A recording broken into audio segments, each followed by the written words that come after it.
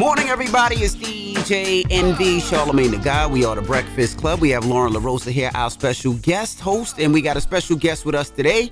We had a topic talking about some statements that she said, ladies and gentlemen. You know- Eboni you know- K. you know- Williams. Don't nobody stir it up like Eboni K. What's up, Envy? What's up, Shar? What's Good up, Miss morning, Lauren? Eb. Hi, Good how are you? Good morning. Good morning. D- Uh, Envy, I was going to be very, very pissed and disappointed if you weren't Skyping in. So good to see you. Why?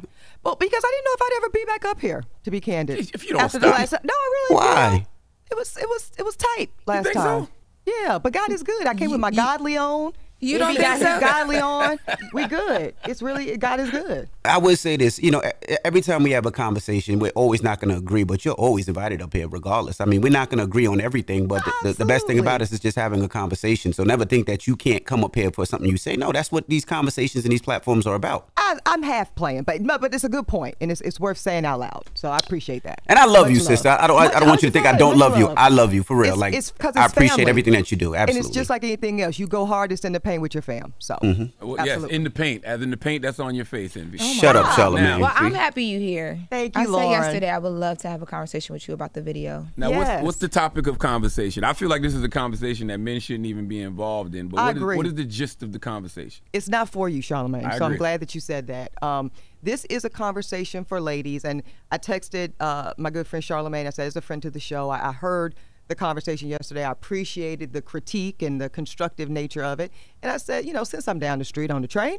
let me pull up and, and I want to hear from you, Lauren, about what you agree with and what you disagree with, and have a, a ladies' conversation about it. Let's do it. Yeah. So I think for me, um, I'll start with what the what I disagree with. Well, well, Kim, that. first for people that, that don't Oh, know, you want to. Okay. you want to play the clip of, of what went viral, Yeah, so, so that. people Let's- understand let's- that. The reality is, is that our marriage and partnership market value is depreciating with every passing year.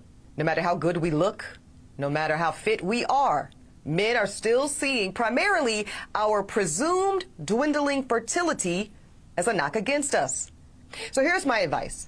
If you are a young black woman in college and you know in your heart and in your head that you want to prioritize family, I suggest that you simultaneously pursue that MRS degree right along with that BA or JD. Because the handful of black college age men that actually do desire to get married soon and they do share that value system and family is a priority for them too. Y'all, that is an incredibly small pool and it's shrinking as you get older. And by the time you reach my age, 40, you will be faced with different choices relating to life partnership and motherhood. So I- think, um, all right. So breaking it down into what I agree and what I disagree with. So the disagreeing for me came with the starting with the infertility and the uh, the market value, the appreciating. So with the infertility, I know some. I said this yesterday. Stuff, some stuff is science, right? You can't get around that. But I feel like when you start with that and you lead with that, it then makes people get defensive and they don't even hear the rest of it. I know when I first listened to it, I was like, oh God, this is going to be another one of those conversations where like someone's telling me as a woman, by the time you get this age, your life is over. And you know, when you're when you're like trying to figure things out and you're like I'm 31 years old, right? Mm-hmm. Like I'm recently out of a very long relationship. I heard. You want to feel not I heard who told you told me. Charlamagne. He Charlamagne- always I been was gonna say best Charlamagne told me. Jesus Christ! Charlamagne, Charlamagne told me, Lauren. It's, you know, But I- I feel don't like- worry, there's life after. Go ahead, sis. I know, and, and, that's, and that, but no, but that's my point. Is mm-hmm. like, I, for me, I made a, a very conscious decision with a lot of things in my life. Going to college, being in the relationship that I was in, not being in that relationship, even with my like recent, you know, back and forth to East Coast, West Coast. Like, I've always had to be very conscious and cognizant of the fact that, like, you know, as a woman, as a black woman, right, especially working in the space that I work in. I might not get that that other chance. Like I got to do it right the first time. And I think You're talking about professionally? uh, pro- professionally and personally. Okay. And only because that's And what are your personal goals? Just so we're clear, do you, you want marriage my and personal goals? I want marriage. And that I want nuclear children. Yes. Family want- foundation. Mhm, I Okay, want great. all of that. Great. Um, I don't even have a number of kids. Once we start, we start. I just want Oh to have no, twins we're not gonna get into the minutia of that. But, But you, yeah, but you want to yes, be a mother. I want. I, yes, I would. I'm, Okay. I'm going to be a, an amazing mom. But I just feel like when you lead with the stuff that you lead with, it instantly turns the conversation negative. And for someone like me who is watching and learning and listening to you. Mm-hmm. It makes it where now I am defensive. I don't want to watch, listen, and learn. I don't hear the rest of what you're saying. So now I'm not being taught. And I should feel like I can listen to you and learn from you and not feel like you're the op, right? And that's how it starts off when you instantly are telling me everything negative about what I already am facing every single day. And I think that that's a big part of it too. Is like when you put certain truths in front of people, mm. it hurts. People don't want to hear it. Sure. But beyond that, like you can't get around the infertility. The second thing was the market value, right? I don't agree. Like I don't know where you were at 31, but for me, I feel like I'm just now getting to the space where like the people that I'm able to or not even able to, but the people that I'm dating, the life experiences that I'm experiencing that are teaching me what I want, what I don't want, I'm right now in the the best space that I've ever been in, and that wasn't me in college. I didn't know what I wanted in college. I didn't know who I was in college. I seen nothing, haven't done anything. I also I didn't agree with that. Mm-hmm. But so, go ahead. We, yeah, let's yeah. let's just because you put two big ones out, and let's break them down before we get ahead of ourselves. Okay, so you're 31 years old, a college-educated woman, uh, enjoying a very successful career in a high-profile space. I'm gonna, I'm going to put my hands together for all of that. Now, when I say market value depreciating, Lauren, did you hear what I said before that? Did I did you hear the specificity of the particular marketplace I'm speaking about?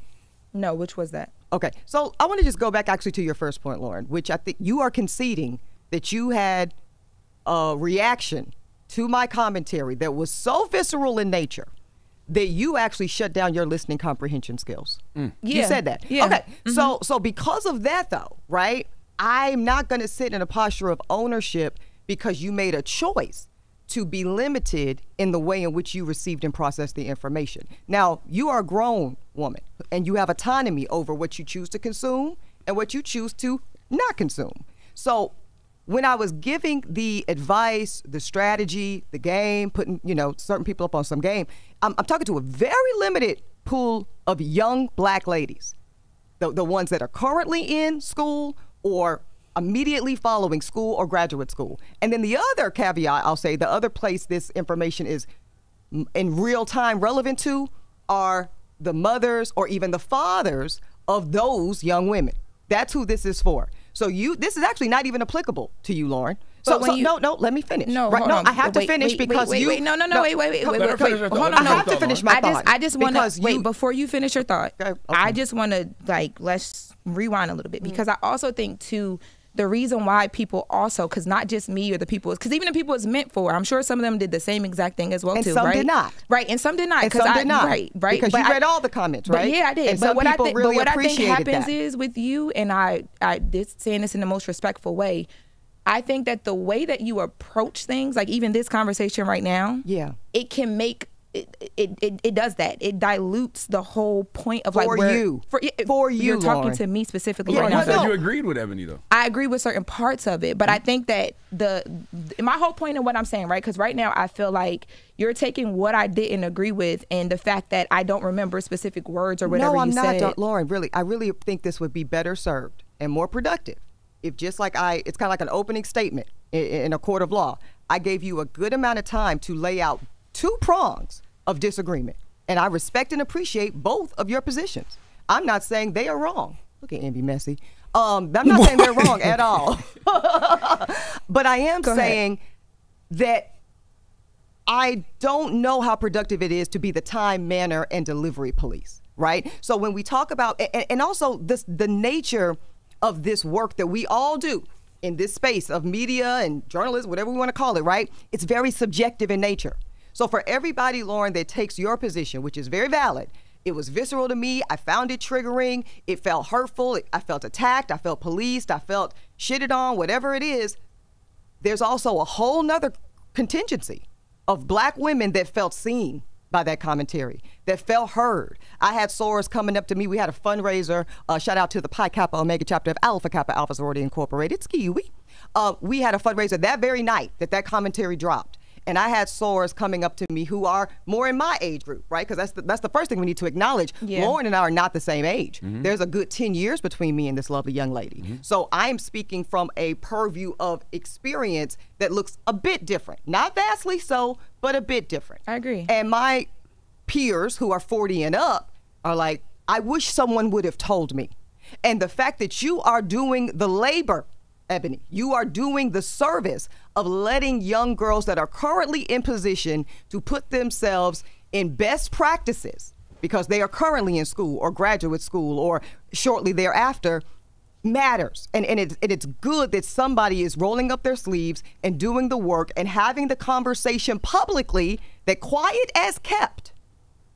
Many pockets of black elite culture are having with their children generationally every day many of my peers lauren when i went to unc chapel hill who were black just like me and you right mm-hmm. they were taught going into the front end of freshman year keep your eyes open you know, get those grades, get that degree. I expect you to go to medical school or law school or PhD. And also, if you want the traditional model, and that's a big if, this is going to be the best time to be surrounded by the highest concentration of black men that are also pursuing the educational and fiscal model that you are and you desire. And Well- it's really no more or less than that. I don't. I don't disagree Well, well, with hold, that hold- second hold on part one of it, second, though. guys. Hold, hold on one second, ladies. Uh, we got to uh, take a break. So we'll come back and we also want to take some calls 800 585 definitely want some 1051. calls. And if you're just joining us, that's Lauren LaRosa. She's our special guest host today. And Eboni K. Williams is up here. And I think it's very important when we come back. Let's talk about what we agree. about the last time you had a conversation with a man about what he values in women. Because I want to be very clear, Lauren, because you make a really good point that I think was misconstrued by a few. I am in no way saying that the market value on life of black women is depreciating. As we age, as we get more educated, as we get more fiscally fit, as we buy properties, as we build in our careers, our market value in life, Lauren, is ascending beyond the greatest heights of, of God. But I'm talking about the dating market. I'm talking about how men are perceiving us in terms of marketplace value for their partnership desires. So let's have that conversation if you don't mind. What do you think most hetero, bl- we're just going to kind of focus on black men and black women for the sake of this conversation for this moment. What do you think most hetero, educated black men are looking for in a woman partner? Come on, Lauren. Kevin Samuels prepared you for this. Stop.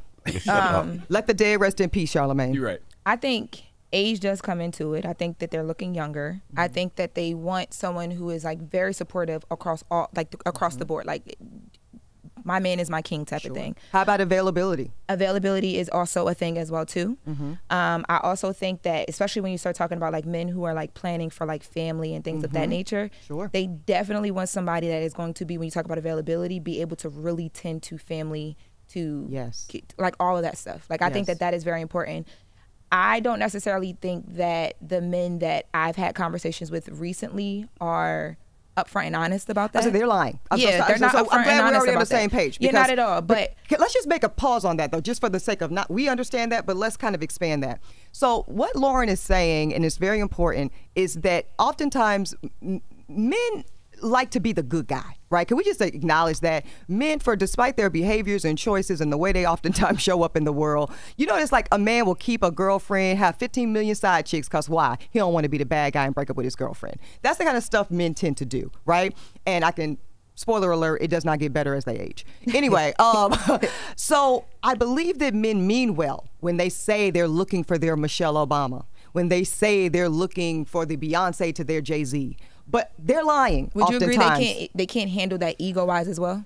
I'm not going to say go in that direction. What I am going to say is what they prioritize are the things you just laid out. They want a woman who is accommodating to them. They want a woman who, especially more successful men, they want a woman that when they say, "Hey, yo, I'm going to um, the south of France for two weeks." Uh, pack your bag, let's go. Let me tell you what they don't want to hear, Lauren. Oh, I got to go to sh- sh- to L.A. to shoot Judge Eboni for three days. Oh, I got to go be at a uh, conference uh, in Florida for Black women attorneys uh, gathering. Oh, I got to go to sounded personal, sorority Eboni. thing. This sounds like based on a true story. It's all based on true story. I wouldn't lie. Charlamagne, shut up. Let these women talk, please. right. Yeah, no, no, no, no. But I'm glad he said that because when you when you said that, I'm like, damn. So she she, she This has is my a- lived experience. Yeah, you Yeah. got you got some uh, some background like personally I- that Yeah, there's a vulnerability in this conversation that I really want people to feel right now because because And in your de- Yeah. just pointing out the delivery Yeah. point that I was trying to make earlier. In your delivery, and I know content, right? And I understand what you do. You're really good at what you do, content wise. You it I- always I- causes these I- things. don't I look right? like it? I know. Period. It's great. Um, but playing. I think It's jokes. I think for me, like uh, when I say that I disagree with those things that we talked about, Mm-hmm. uh, what I wanted to make clear earlier was and I think we kind of got to this. Me disagreeing doesn't mean that what you're saying to me is just like, oh, this is BS. Oh, this Right. isn't true. Like, because what I just said, it goes to a lot of the points that you made. Right. I think that the disagreement again comes in with how you say it, and we don't get that vulnerability, right? So, me sitting here with you right now Mm-hmm. is like, this is what I want to feel when I see the content. I might not always get that though, and maybe it's not like you said, it wasn't for me. It was for the girls that's still in college, right? Correct. But at the same time, it's placed on my timeline, so I get it and I feel it, and I stop and I listen. Either way, but and I'm glad you do. Shout out to the team at the Grio. Go ahead. but what did you agree with though? the- Lauren? but I was going, going to get to that. But what I did agree with was the fact, like when you started talking about the pool of men getting smaller when Yes. it comes to those men who men who will be honest about what they want when it comes to the family, Absolutely. a woman. Mm-hmm. They are actually worth the time, the energy. It's it's consistent. You're getting the same energy that you're putting Mm-hmm. out. It does get smaller as you get older, and like now that I'm out here in the dating world, I'm like, oh, okay. And keep in mind, you're only 30. Something, Right. 31. And So it's like- as you get to 40, there, there, that the the pool, the pool has shrunk further. 50, even more so. And I've dated Mm. Girl, up I'm to gonna have a man late before I'm 50. I'm gonna have a man And before I'm listen, 50. I'm not Claim it, even. I got, I got I ready actually- up before no, the no, day, no. baby. I actually believe in the power of the tongue. So Mm-hmm. I believe, so you speak, so you you have, and you will desire. I do want to speak to the fertility part because it's very important. It is. Um, as I sit here with y'all today, uh, you know, I'm literally on some fertility drugs. I am preparing for my embryo transfer in the next few weeks. Now, I am 40 years old, just turned 40 a couple of weeks ago. Y'all know I've been very transparent about my motherhood journey. I'm doing it mm-hmm. solo by choice. Y'all know I froze eggs at 34 years old. I'm mm-hmm. doing this. I'm excited to be a mom. Uh, I'm scared as hell. I know it's going to be the hardest thing I've ever done in my life, and yet I cannot wait to enter this this this mother era mm. of my life. And also, Lauren, I don't think this is how most black women want to do it. Why? I was gonna say, think- why solo by choice? Uh, well, several reasons. Number one, I'm no longer willing to wait to activate my pursuit of motherhood. I'm no longer willing to wait. I've been married and divorced in my late 20s. I had also a long-term relationship many years ago. I ended a engagement during the pandemic. I'm ready for my baby. I am ready to build my legacy in this way. I am ready to pour into someone other than me. Finally, it took me a very long time to get here, but when, when, when she I'm ready, you right now, she too. ready. Okay. Now, I don't think that most w- women, most black women, desire doing this journey alone. That's I very don't. important. It's very saying is very important. important. And I and I know that you mentioned yesterday the egg freezing, so let's talk about that. Yeah. Eh, Because I think that that is marketed, not just you, Lauren. I think in general. That is in a lot of these comments, right? Well, girl, just freeze your eggs and don't worry about the rest. Nah, that's some bullshit. Because I'm here to tell you because I'm living it, right? I froze eggs at 34. I never thought in a million years I would need to use them, right? Mm-hmm. Because why? I was in a loving, committed relationship. The- These were my spare. Mm-hmm. Have you frozen eggs at this point, dear? No, I thought about doing it last year. I thought about starting the process. Okay, so let me just, and this is not investigative. This is, I'm just trying to see something here. Do you know how many eggs, on average, a woman should have on ice, on reserve, frozen, for a probability of one live birth? No, I don't. About 20. Then if I say, okay, how many egg retrievals are required to get about 20 eggs in a woman that's say 35 and up? The answer is at least two. What's the cost average of an egg retrieval? Envy probably knows this, but he knows it's between twelve and fifteen thousand dollars mm. per retrieval cycle. That most average. insurances don't cover.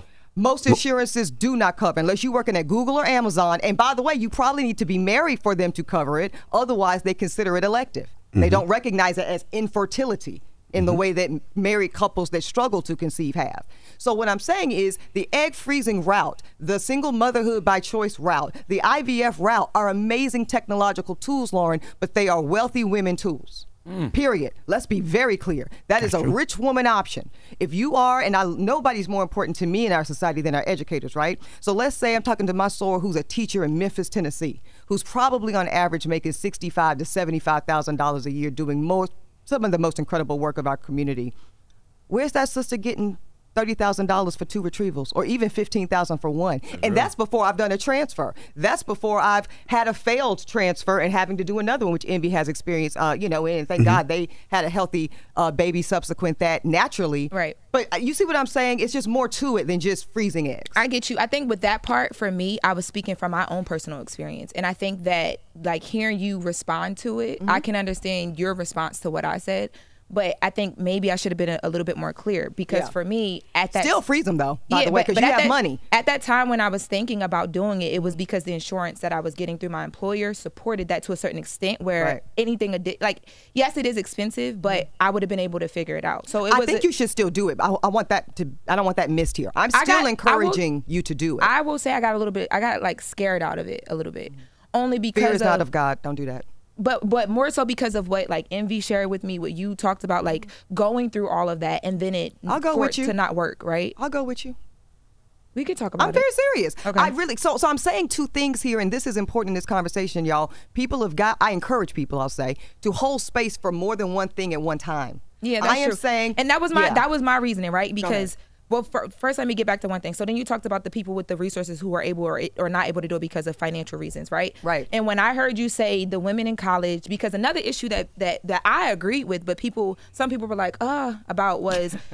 Because I think What were too, they like, the- Lauren? uh, Right. The headlines didn't help, right? Because you're, you're, what the headlines are saying is like, Eboni K. Williams is saying, while you're in college, you also should be trying to get a ring too, or like people. If you there's a big if, you- which you acknowledge. I pointed that out because Yes. that that that matters, That is right? a- if that is one of your primary goals. if you choose that. But this right. is but I think when you said that with the mm-hmm. women in college, I thought about me and my friends in college, right? While we're in college, we don't have the money to do that, but when we graduated, we all became very successful in our careers, mm-hmm. financially doing well. We had that resource because we were black women who took the time to get our education and then apply it to what we wanted in life. So I instantly put those women in that category. So I didn't even mm-hmm. think about the people who weren't financially able because I thought that the people that you were speaking to, back to your point of who you were talking to, were women that one day would be able to do it. And I the reason why I was like that that's not what I wanted to hear was because I felt like how I've been spoken to is like people will tell you not to do things, right? Because they will say, okay, well, it's going to be financially hard, or where will you get the resources? And it's like, why can't I afford to do it? Like, Yeah, but you understand clearly. If you, uh, I'm not sure for how familiar you are with my content, Lauren, but the folks here in this room that are, everything I talk about is about prosperity and living a first class American wealthy existence for black fo- folks. I- Period. I, know that you do that, but what what I when I hear that and I and I know how people will take it and in the Some conversation people. will run. Some people will take it and the Yeah. conversation will run. They may not know that and they may not present it that way. So now, to me, I said I feel like I put a dark cloud because now you're like, okay, these women are in college. And then most of the, the I know I'm a black woman, so when I'm hearing that, I'm instantly like, okay, people are going to use this to be like the black women who graduate with the degrees. They don't have those options because of A, B, C, and D. Number one being finances, Mm-hmm. No, it's the right? and that's not a right? conversation that I don't want. No, no, no. So, so I think that's so people like interesting that, that that's the way you heard it. I believe that's the way you heard it. But I think that there are also people that hear it the complete opposite way, Lauren, and we have to make the space for that. I hear you saying you heard my commentary in general, and you you heard a woman advocating for a glass being half full. There, excuse me, half empty rather. And then there are those that heard what I was saying and was like, shit, that's some great perspective. I wish someone would have told me when I was positioned to do something about it. I am certainly going to advance this piece of uh, advice and commentary to my children or the kids in my church or the kids in my, you know, Jack and Jill chapters or whatever in the world, and making sure that they have this piece of knowledge or, or, or optionality that I'd never had because no one ever told me, and they're seeing it as the glass half full. and I love that for them. But do Yeah. you feel like the blogs and a lot of people that reported on it picked it up that way? I, think feel- the LA Times did. No, I, but- and I feel like what Eboni just said now is very important. All Eboni is saying is this isn't ideal, and you don't want It's folks, not. It's you, not. You don't want folks to have to necessarily go through this. For me, Right. I yeah, only what I- to. let me just reiterate that because that's very important because this is this is these these stakes are very high, Lauren. I'm fifty thousand dollars into uh IVF journey by myself. So I don't have a husband splitting that with me, which I which there's reasons why that's preferable for me. Mm-hmm. But I really need people to hear that. And I'm taking shots and I'm giving them to myself and I'm doing all this to bring life into this world. Yeah. And and I don't take it lightly because it's a very serious thing. So I think when we were very cavalier, not not just you, right, but in general with oh just IVF or oh just marry outside the race. That, obviously been there, done that too. Oh, doing that. that oh, well, I heard some Snow No. King commentary I said earlier. that- I said like that snow you said crabs. that. was cute. don't- Don't I act like said that don't was cute. snow Now I can't eat Well, hold up, snow hold, hold up, guys. Hold up, guys. we We, wanna we do got to take some calls. calls. Yeah, we got to take some calls.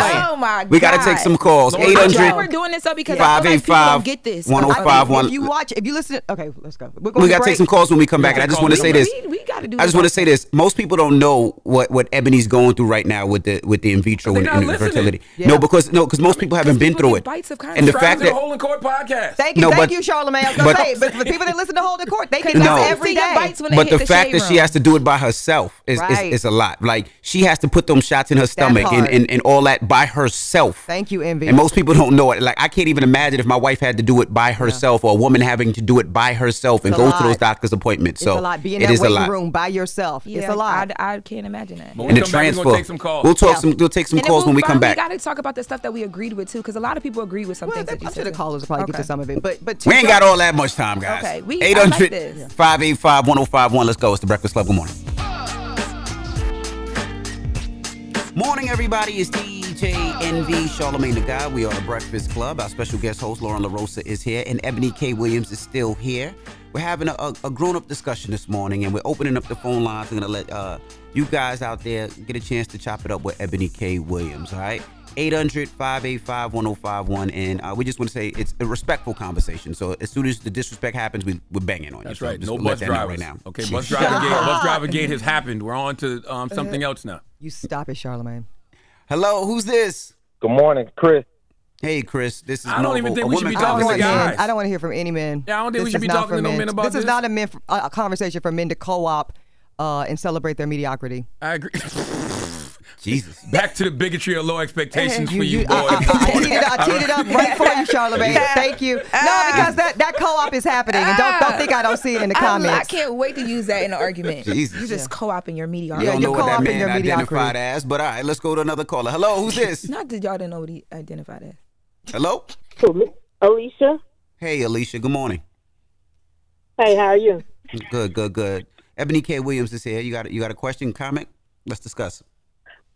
Oh well, I just kind of wanted to agree with her. First of all, um, she stated that if this is the if this is what you want in your life, this is what I suggest. So she was not pushing that on anyone. But if we're being honest, that's what our counterparts teach their girls: to go to college and find a husband. Education is almost secondary to, especially white Southern women. So I don't see a problem with it.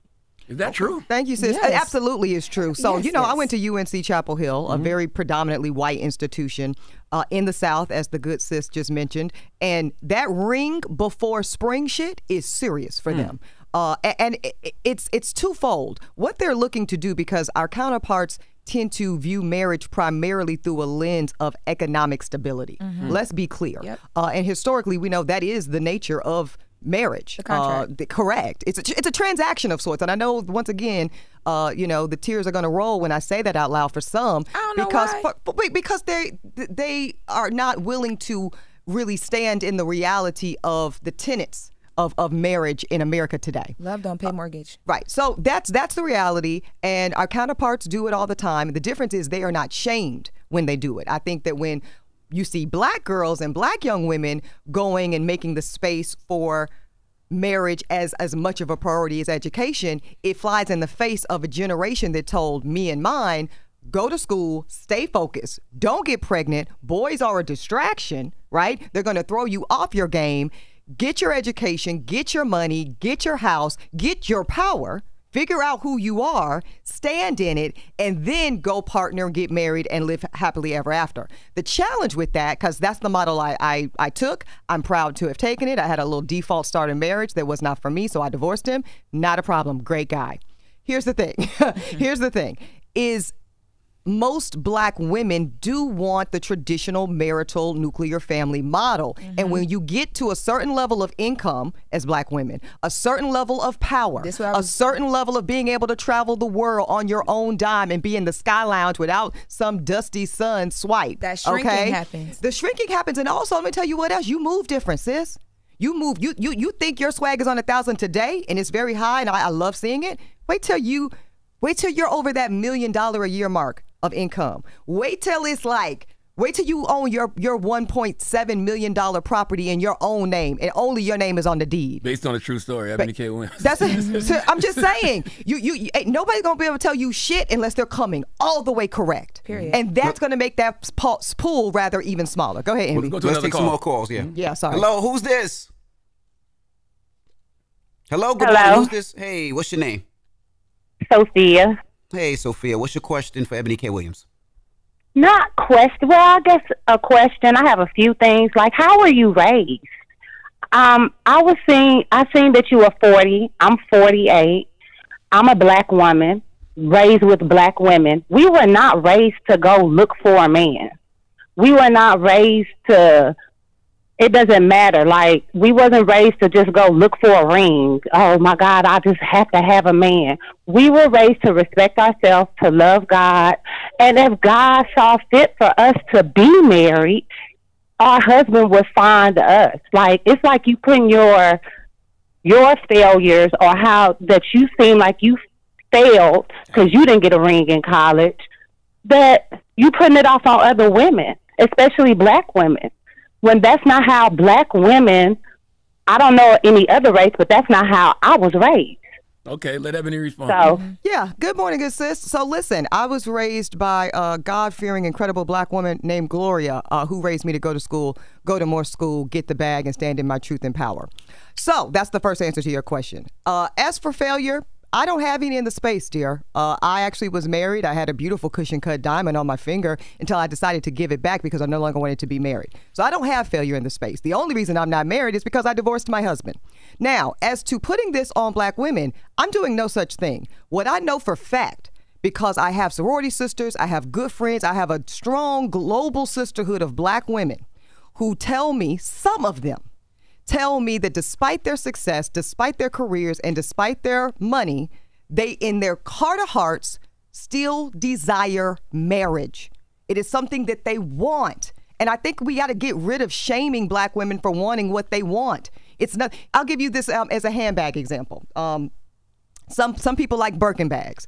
If if Lauren comes and tells me, Eboni, I want to get a Birkin bag, let me tell you what I'm not to do. I'm not to try to convince her to get another kind of bag. I'm not to say, girl, have you seen the Chanel's? Well, what about the Louis Vuittons? I'm not to talk to you about how. Uh, Hermes bags are, are priced out of range and, and, and, and they should be more accessible to people. No, I'm going to talk to you about how to get the money situation together so we can walk in Hermes right there on Madison and make your dream a reality. And that's all I'm doing. For the black women that that is already a desire of their heart to be married in a timely fashion, that's who this advice is for. If you don't want that, I want nothing but what you want for yourself. Is the caller still on the line? No. No, let's, let's, let's go to. if let's you go to don't caller. want that, go get the Michael Kors. I will say though, I think Yeah, go get the Michael. Kors. I think a lot of people take the stance that she took because you literally like a lot of people don't know certain things, right? They don't listen. Yeah. But I also think that say that people- part one more time. They don't know certain things and they don't listen. But wait, Go an- ahead. another important point Yeah. is I think a lot of people take you just as a personality and all that you have going on Mm-hmm. as like you look and speak down on people. And I think with black women, it's instantly triggering because we've had that happen so much, right? Mm-hmm. And that's why that happens where she's like, well, how were you raised? Like even the way that she came into that call was like, you think that you're better or you think that you're Right. doing something that other people have not done, right? And I think that happens a lot with you. Yeah, it's a projection. Yeah, so I'm 40, right? So none of that's new, Lauren, just so you know. I Like know, I'm when you walk through the world carrying yourself the way I do, having my aesthetic, projections and presumptions about who I am and what my values are come with the territory. But that's also why I do the work I do. I got 100 episodes of Holding Court people can watch. I'm on every day here locally in New York, channel 55, Talk that 11:30 a.m. Equal Justice with Judge Eboni. Yes, I'm judging you. Uh, and several other things. I got two books saw out, in Vegas this including weekend, by uh, way. Bet on Bike. What'd you say, baby? I saw Equal Justice in Vegas. You this saw it? weekend. Yeah, uh, yeah. It's nationally syndicated. I'm in 85% of American homes, so there's lots of content to consume. Well, let's go to another caller, and I just want to put out there, uh, Eboni K. Williams is talking that talk. She has a gold uh, 35 Birkin bag. With, Thank you, uh, baby. Look like gold hardware. You, you, uh, you're correct. there. Yellow gold. Thank you, Yes, Envy. Yeah, yeah, yeah. Spoken like a true man of Hermes. Y'all Yes. rich. Oh, y'all why- rich. I said I, It- my uh, husband sh- better be able to spot the Y'all bags like so that. Char- Charlamagne, please. Go to- Hello, who's Save this? Hello. Hello. Hey, what's your name? Hi, my name is Tish. I'm calling from Houston. Hey, Tish. What's your question for Eboni K. Williams?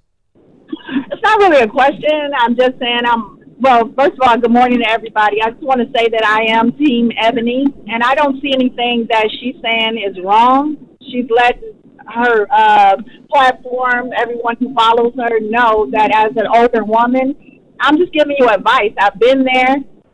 I've been through college, and this is my feelings based on my experiences, and I just feel like she should be respected for it. Okay. Well, thank you for calling, Mama.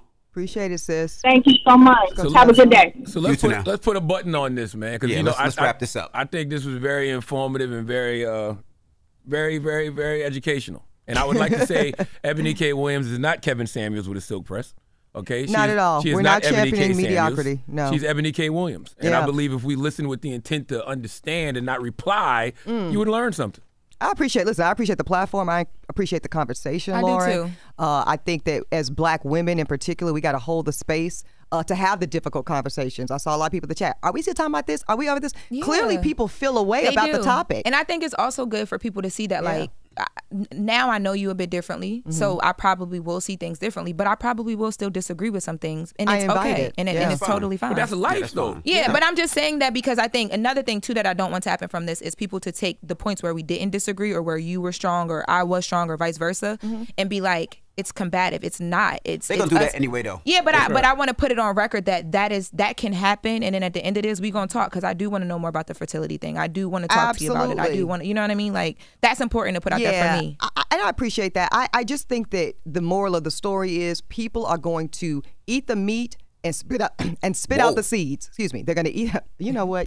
somebody nasty. Somebody somebody nasty in here. Because somebody got a good diet. um, you're going to eat the meat and spit out the seeds, as we do with watermelon. Get your heads out of the Oh, gutter, got you. as we do with Oh. watermelon. What is wrong with you people? I've been in this Who room all raised week. No? I'm thinking flesh. I'm Who sorry. raised You y'all? right, I'm just right, playing. right. Uh, a- and, that goes with this conversation. Yeah. That goes whether we're talking about bus driver gate, whether we're talking about black men in school, whether we're talking about wealth or anything else. So the content is for the taking. I welcome the critique and the conversation.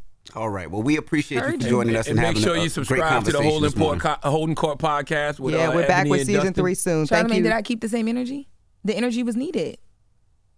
I don't know, man. I You was, thought you was, so. you shrunk a little bit. No, Yo, don't shut do up. that. That's- Don't, don't, hold on. You that's love not to come for me. You When we love come it. I back, don't know why I asked you. I don't even know why I asked I don't even know come why you asked me either, girl. have Make sure, mercy. hold Lori, on, make sure did. you watch Equal Justice too. Thank you. That's right. Thank And when you. we come Check back- your local listings. Yes. When we come back, Nyla will be joining us past the Orc, so don't go anywhere. It's a Friday. Thank you, ladies. It's the Breakfast Club. Good morning. Hilarious. Wake that ass up. In the morning. The Breakfast Club.